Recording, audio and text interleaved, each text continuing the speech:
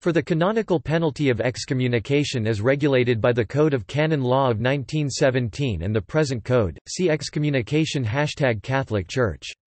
This article reflects the state of before 1917.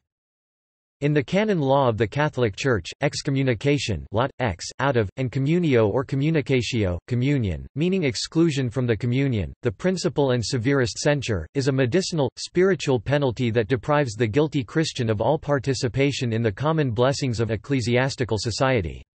Being a penalty, it presupposes guilt, and being the most serious penalty that the Catholic Church can inflict, it naturally supposes a very grave offense. Excommunication is a rarely applied censure and thus a medicinal penalty intended to invite the person to change behavior or attitude, repent, and return to full communion. It is not an expiatory penalty designed to make satisfaction for the wrong done, much less a vindictive penalty designed solely to punish. Excommunication, which is the gravest penalty of all, is always medicinal, and is not at all vindictive. Its object and its effect are loss of communion, i.e. of the spiritual benefits shared by all the members of Christian society, hence, it can affect only those who by baptism have been admitted to that society. There can and do exist other penal measures which entail the loss of certain fixed rights, among them are other censures, e.g. suspension for clerics, and interdict. Excommunication, however, is distinguished from these penalties in that it is the privation of all rights resulting from the social status of the Christian as such. Excommunicated persons do not cease to be Christians, since their baptism can never be effaced. They can, however, be considered as an exile from Christian society and as non-existent, for a time at least, in the sight of ecclesiastical authority. But such exile can have an end as soon as the offender has given suitable satisfaction.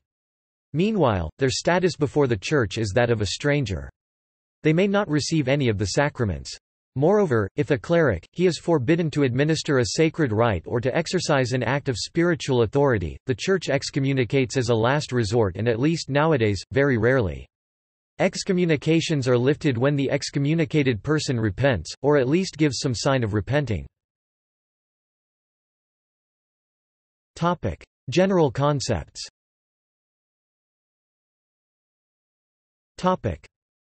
the Church has the innate and proper right to coerce offending members of the Christian faithful with penal sanctions.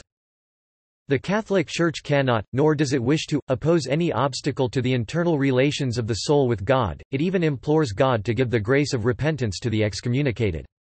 The rites of the Church, nevertheless, are the providential and regular channel through which divine grace is conveyed to Christians. Exclusion from such rites, especially from the sacraments, entails the privation of this grace, to whose sources the excommunicated person no longer has access. In the papal bull, Exsurge Domine, May 16, 1520, Pope Leo X condemned Luther's 23rd proposition according to which Excommunications are merely external punishments, nor do they deprive a man of the common spiritual prayers of the Church."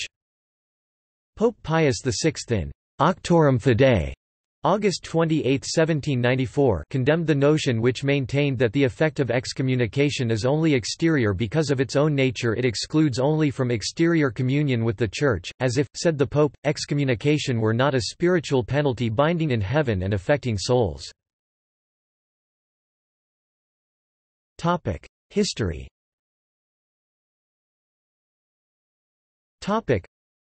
While excommunication ranks first among ecclesiastical censures, it existed long before any such classification arose.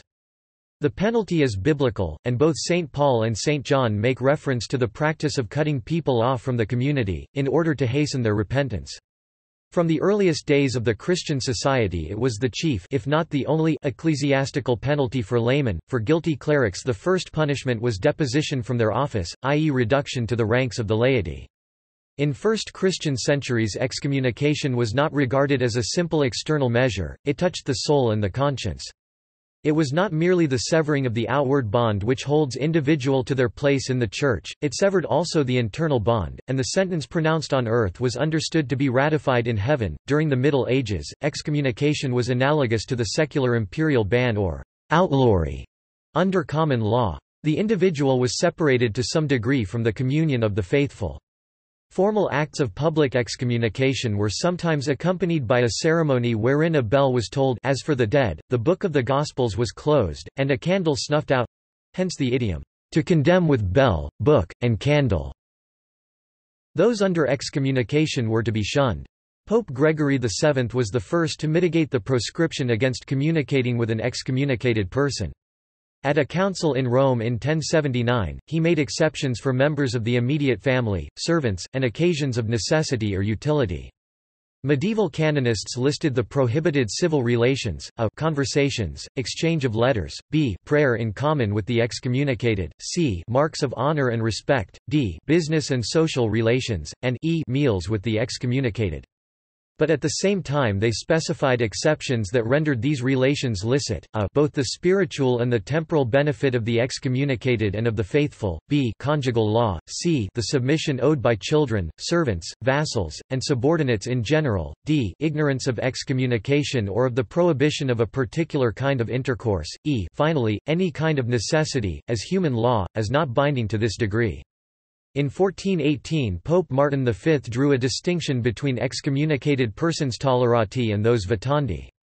The former were «tolerated», while the latter were to be shunned. William the Conqueror separated ecclesiastical cases from the hundred courts, but allowed the bishops to seek assistance from the secular authorities. Excommunications were intended to be remedial and compel the offender to return to the fold. The practice in Normandy provided that if an obdurate excommunicate remained so for a year and a day, his goods were subject to confiscation at the duke's pleasure. Later, bishops were authorized to submit a writ to have the individual imprisoned. On the other hand, the bishops held temporalities which the king could seize if the bishop refused to absolve an imprisoned excommunicate. The authority of a bishop to excommunicate someone was restricted to those persons who resided in his see. This often gave rise to jurisdictional disputes on the part of abbeys which claimed to be exempt. In 1215, the Fourth Council of the Lateran decreed that excommunication may be imposed only after warning in the presence of suitable witnesses and for manifest and reasonable cause, and that they are to be neither imposed nor lifted for payment. In practice, excommunications with subsequent writs appear to have been used to enforce clerical discipline and functioned something like a citation for contempt of court. By the 14th century, bishops were resorting to excommunication against those who defaulted in making payment of the clerical subsidy demanded by the king for his wars against France. Tridentine excommunications from the middle of the 15th century dueling over questions of honour increased so greatly, that in 1551 the Council of Trent was obliged to enact the severest penalties against it. The malice of the duel lies in the fact that it makes right depend upon the fate of arms. Dueling was forbidden, and the prohibition extended to not only the principals, but their seconds, physicians expressly brought to attend upon the scene, and all spectators not accidentally present. The excommunication was incurred, not only when the parties actually fought, but as soon as they proposed or accepted a challenge. According to the council those who took part in a duel were ipso facto excommunicated, and if they were killed in the duel they were to be deprived of Christian burial. These ecclesiastical penalties were at a later date repeatedly renewed and even in parts made more severe. Benedict XIV decreed that duelists should be denied burial by the Church even if they did not die on the dueling ground and had received absolution before death. It pronounced the severest ecclesiastical penalties against those princes who should permit dueling between Christians in their territories. Political aspects when King John of England refused to accept Stephen Langton as Archbishop of Canterbury, he seized the lands of the archbishopric and other papal possessions. Pope Innocent III first sent a commission to negotiate with the king, and when that failed, placed the kingdom under interdict. This prohibited the clergy from conducting religious services, with the exception of baptisms for the young, and last rites for the dying. King John responded by taking more church lands and their revenues. Innocent threatened the king with excommunication and in 1209 proceeded to excommunicate the king. Papal legate Pandulf Verraccio served John with notice of his excommunication in the summer of 1211. The excommunication absolved the king's subjects from their oaths of allegiance, gave the barons reason to revolt if they should so choose, and allowed the King of France a pretext to invade England to remove John from power. John was undismayed, but by November 1211, he became concerned about a possible French invasion. By May 1213, the king was ready to concede. The legate then worked to avert the threatened French invasion. Abuses not all excommunications were necessarily valid due to some intrinsic or essential defect, e.g. when the person inflicting it has no jurisdiction, when the motive of the excommunication is manifestly incorrect and inconsistent, or when the excommunication is essentially defective in form. The extension of the use of excommunication led to abuses. The penalty is designed to bring the sinner back to repentance. However, it could be abused, used as a political tool and even employed for the purposes of revenge, abuses of canon law. In 1304, John Dalderby, Bishop of Lincoln, excommunicated all those persons of Newport Pagnell who knew the whereabouts of Sir Gerald Salvaion's wayward falcon and failed to return it. The infliction of so grave a penalty for offences of a less grievous kind and most frequently impossible to verify before the public ecclesiastical authority, begot eventually a contempt for excommunication. Excessive number of excommunications.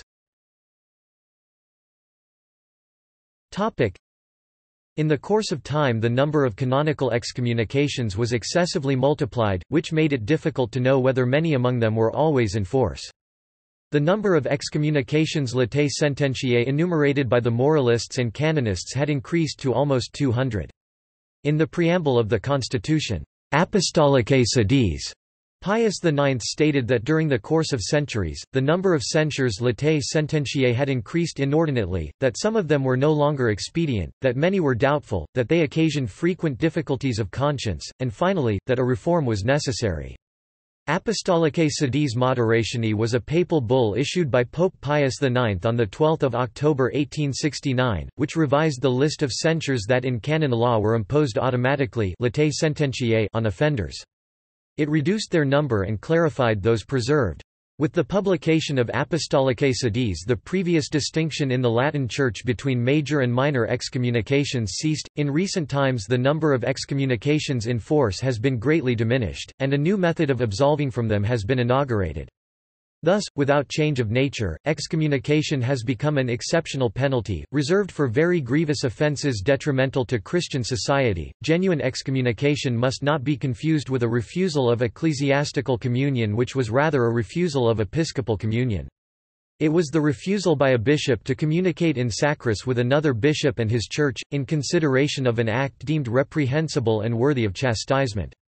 It was undoubtedly the measure to which Saint Martin of Tours had recourse when he refused to communicate with the Spanish bishops who caused Emperor Maximinus to condemn to death the heretic Priscillian with some of his adherents. Excommunicable offences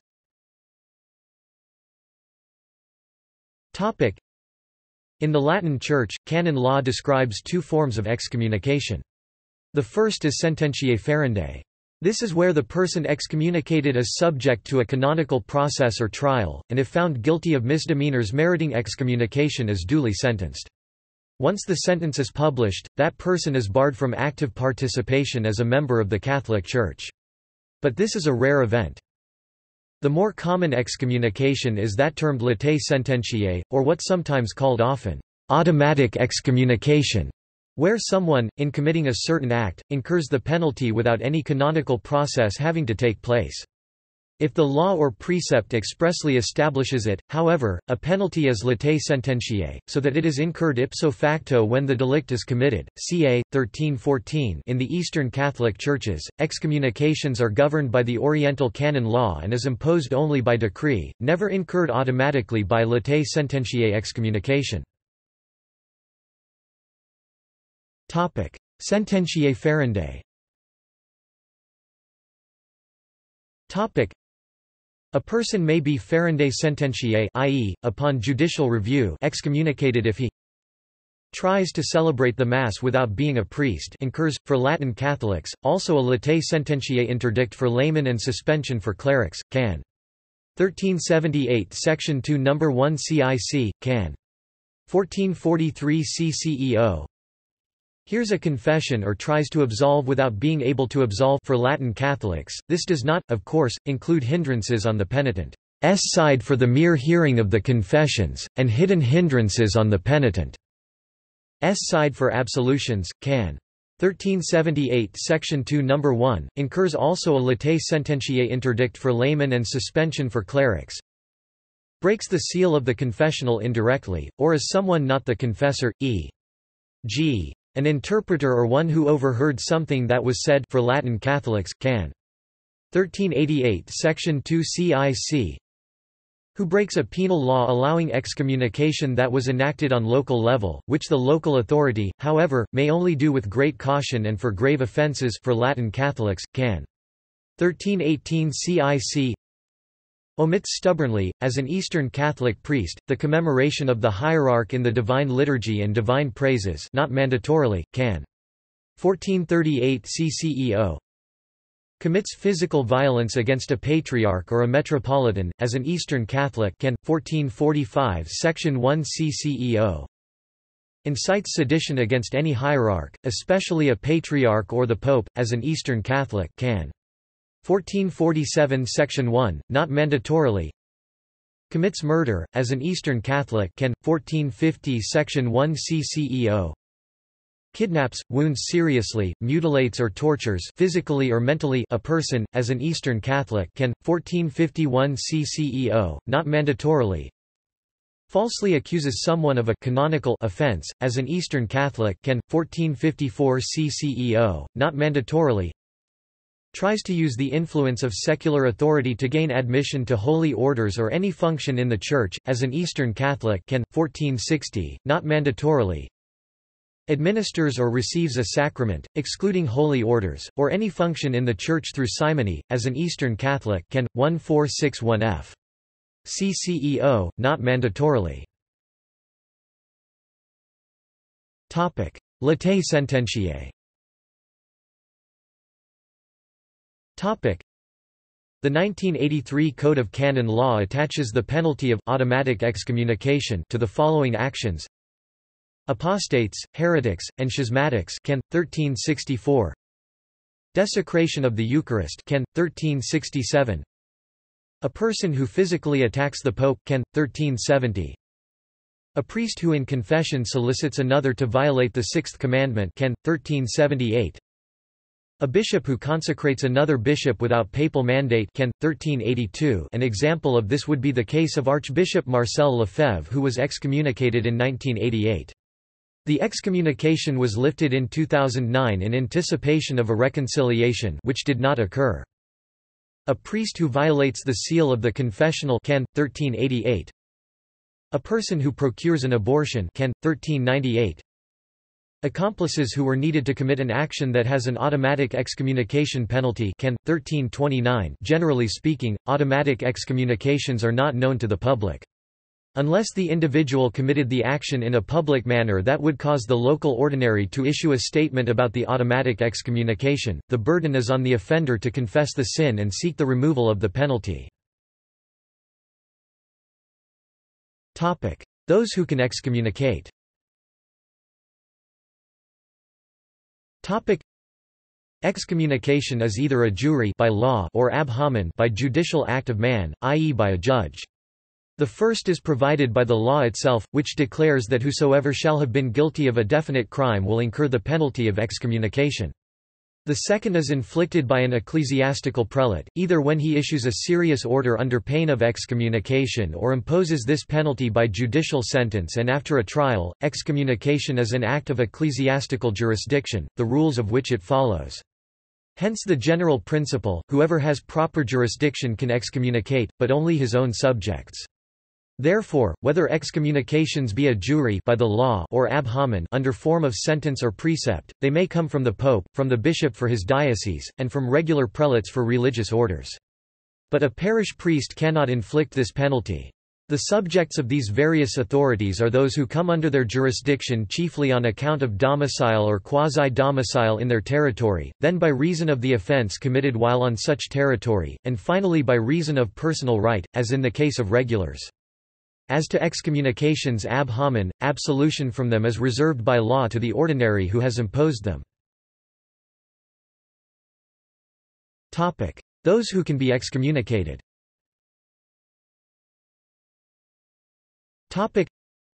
Historically, no one can be subject to ecclesiastical censure unless they be baptized, delinquent, and contumacious. Baptism confers initial jurisdiction, delinquency refers to having committed a wrong, and contumacious indicates the person's willful persistence in such conduct. Since excommunication is the forfeiture of the spiritual privileges of ecclesiastical society, all those, but those only, can be excommunicated who, by any right whatsoever, belong to this society. Consequently, excommunication can be inflicted only on baptized and living Catholics.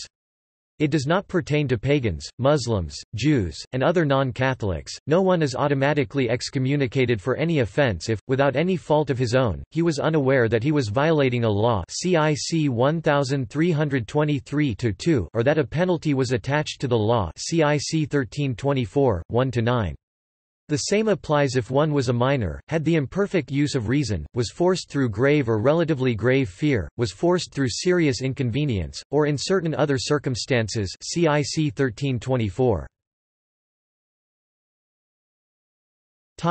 Absolution from excommunication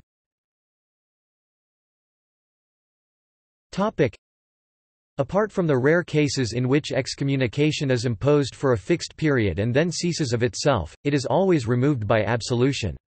It is to be noted at once that, though the same word is used to designate the sacramental sentence by which sins are remitted and that by which excommunication is removed, there is a vast difference between the two acts. The absolution which revokes excommunication is purely jurisdictional and has nothing sacramental about it.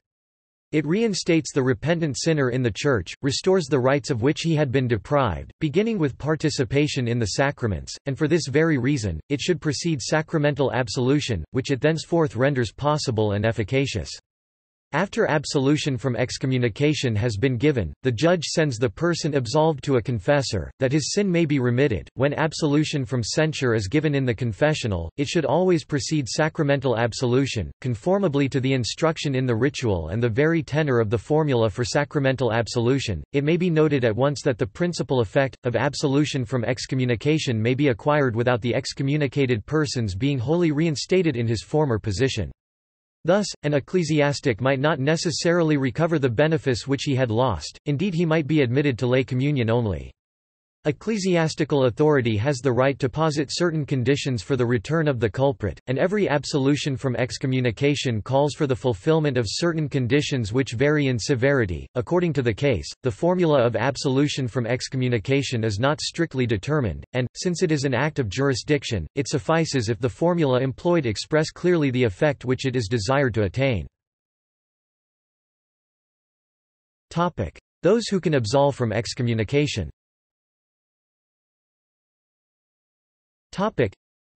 The answer is given in the customary rules of jurisdiction. The right to absolve belongs to him who can excommunicate and who has imposed the law, moreover to any person delegated by him to this effect, since this power, being jurisdictional, can be delegated. First, we must distinguish between excommunication ab homine, which is judicial, and excommunication a jure, i.e. latae sententiae. For the former, absolution is given by the judge who inflicted the penalty or by his successor, in other words by the pope, or the bishop ordinary, also by the superior of said judge when acting as judge of appeal. As to excommunication latae sententiae, the power to absolve is either ordinary or delegated. Ordinary power is determined by the law itself, which indicates to what authority the censure is reserved in each case. Delegated power is of two kinds, that granted in permanency and set down in the law and that granted or communicated by personal act, e.g. by authority faculties of the Roman penitentiaria, by episcopal delegation for special cases, or bestowed upon certain priests. Unless the canon reserves removal of the penalty to the Holy See, the local ordinary can remit the excommunication, or he can delegate that authority to the priests of his diocese which most bishops do in the case of abortion. Topic: Reserved and non-reserved. Topic: Excommunication is either reserved or non-reserved regarding the absolution from censure. Any confessor can absolve from non-reserved excommunications, but those that are reserved can only be remitted, except through indult or delegation, by those to whom the law reserves the absolution. There is a distinction between excommunications reserved to the pope and those reserved to bishops or ordinaries. It is a principle repeatedly set forth in canon law that at the point of death all reservations cease and all necessary jurisdiction is supplied by the Church. If an excommunicated Catholic is in danger of death, any confessor is authorized to remit any and all penalties.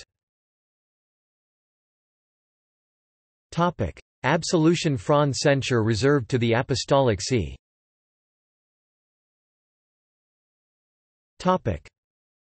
a person who throws away the consecrated species or takes or retains them for a sacrilegious purpose incurs a latae sententiae excommunication reserved to the Apostolic See.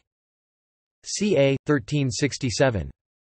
A person who uses physical force against the Roman pontiff incurs a latae sententiae excommunication reserved to the Apostolic See. ca. 1370. A priest who acts against the prescript of can. 977 incurs a latae sententiae excommunication reserved to the Apostolic See, ca. 1378 Canon 977 states that the absolution of an accomplice in a sin against the sixth commandment of the Decalogue is invalid except in danger of death, i.e., if a priest commits a sexual sin with someone, he cannot then absolute that person of the sin. A bishop who consecrates someone a bishop without a pontifical mandate and the person who receives the consecration from him incur a latae sententiae excommunication reserved to the Apostolic See. ca. 1382. A confessor who directly violates the sacramental seal incurs a latae sententiae excommunication reserved to the Apostolic See. Ca. 1388 During the Extraordinary Jubilee of Mercy, Pope Francis gave to special qualified and experienced priests, called missionaries of mercy, the faculty to forgive even special case sins normally reserved to the Holy See's Apostolic Penitentiary. Originally, their mandate was to expire at the close of the Holy Year, but the Pope has extended it, permitting them to continue hearing confessions freely in every diocese throughout the world and lifting censures that normally require the permission of the Pope. Excommunications pronounced or renewed since the Constitution Apostolicae Sedis.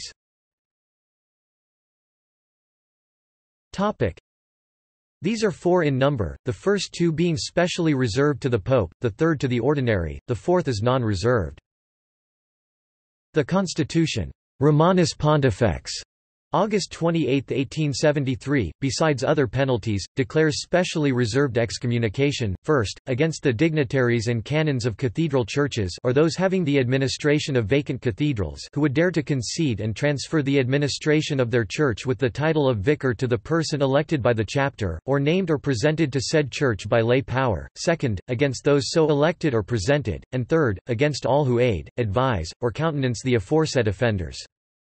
Excommunication specially reserved against the members of the Catholic Italian Society for the Restoration of the Rights of the Christian and especially of the Roman people, and against its promoters, supporters, and adherents s.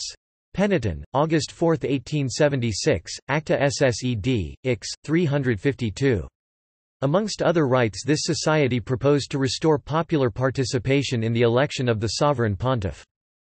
Excommunication reserved to the ordinary against laymen for ecclesiastics the penalty is suspension who traffic in mass stipends and trade them with priests for books and other merchandise s. Kong, of the Council, Decree. Vigilanti Studio. May 25, 1893. Excommunication, non-reserved, against missionaries, both regulars and seculars, of the East Indies farther Orient or the West Indies America who devote themselves to commerce or who participate in it, and their immediate superiors, provincial or general, who fail to punish the culprits, at least by removal, and even after a single offence.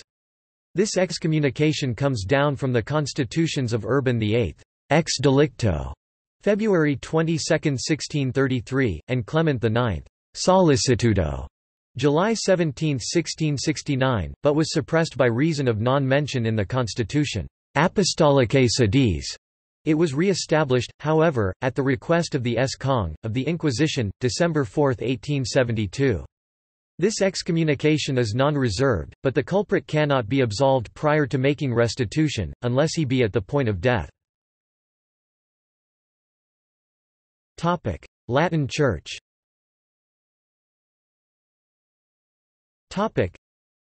In Latin Catholic canon law, excommunication is a rarely applied censure and thus a medicinal penalty intended to invite the person to change behavior or attitude, repent, and return to full communion.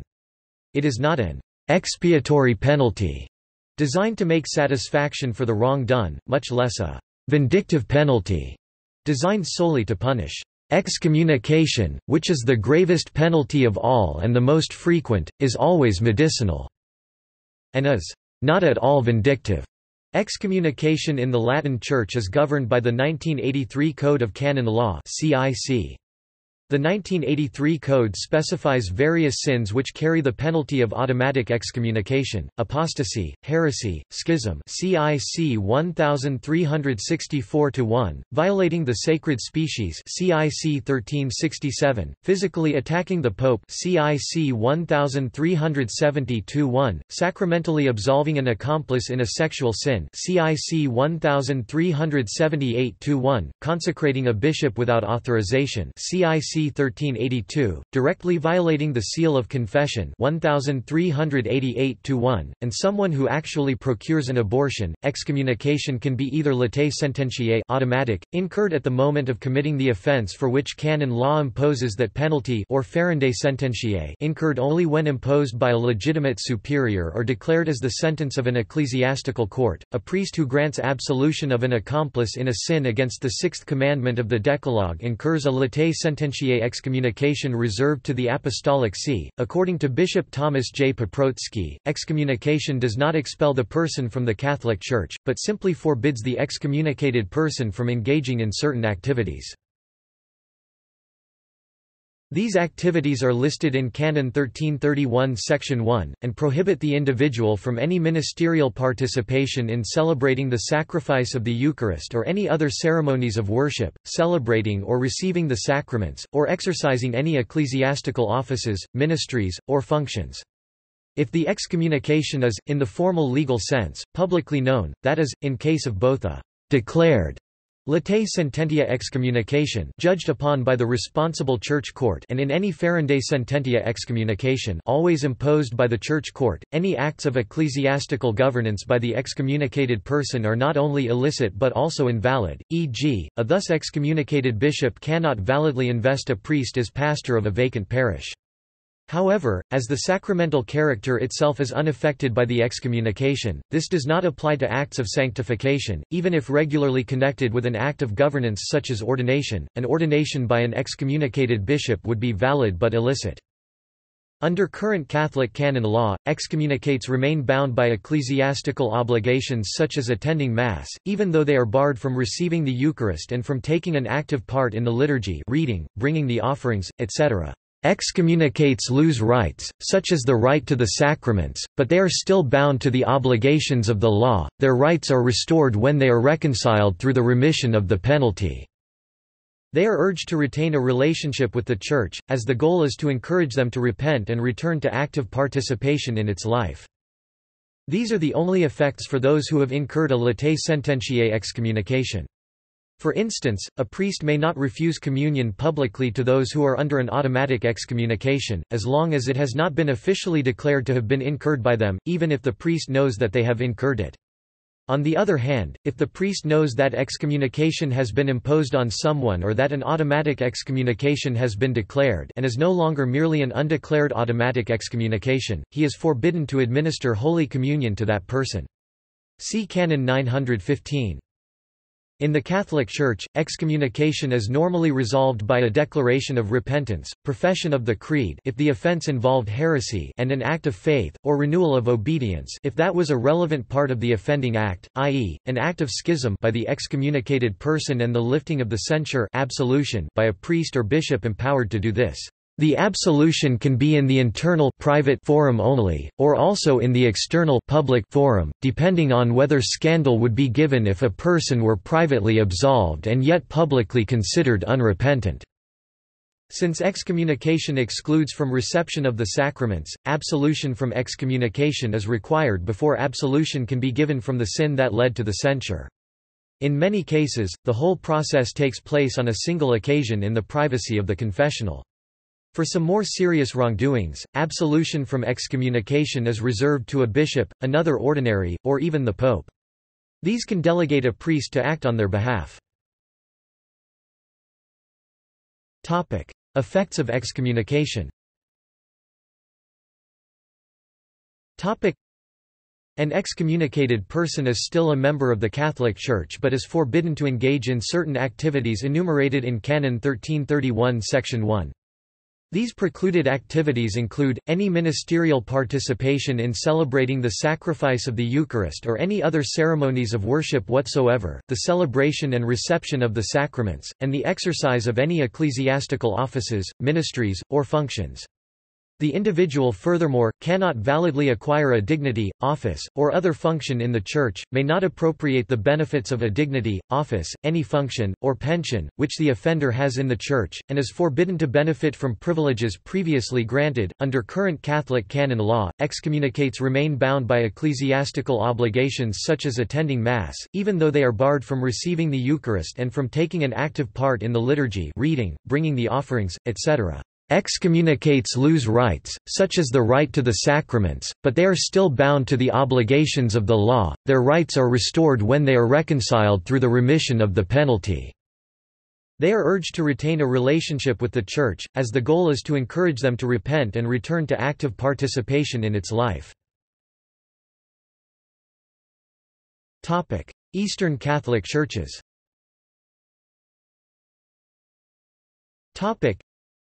in the Eastern Catholic Churches, excommunications is imposed only by decree, never incurred automatically by latae sententiae excommunication. In the Oriental canon law of the Eastern Catholic Churches, a distinction is made between minor and major excommunication. Those on whom minor excommunication has been imposed are excluded from receiving the Eucharist and can also be excluded from participating in the Divine Liturgy. They can even be excluded from entering a church when divine worship is being celebrated there. The decree of excommunication must indicate the precise effect of the excommunication and, if required, its duration. Those under major excommunication are in addition forbidden to receive not only the Eucharist but also the other sacraments, to administer sacraments or sacramentals, to exercise any ecclesiastical offices, ministries, or functions whatsoever, and any such exercise by them is null and void. They are to be removed from participation in the Divine Liturgy and any public celebrations of divine worship.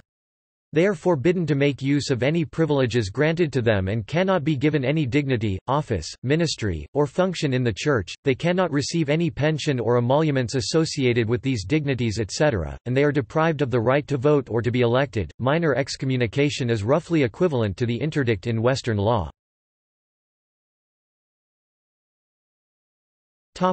See also. Topic. Interdict. Excommunicable offences in the Catholic Church. List of people excommunicated by the Catholic Church. Topic. References. Topic. Topic. External links Topic. Code of Canon Law, Book IV, Sanctions in the Church, Part 1, Delicts and Penalties in General